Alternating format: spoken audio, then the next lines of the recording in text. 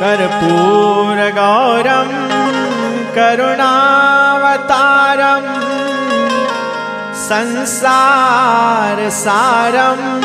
भुजगेन्द्रहारम्